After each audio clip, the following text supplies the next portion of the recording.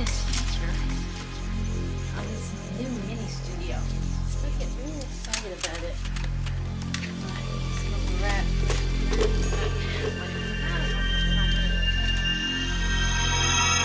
It's gonna.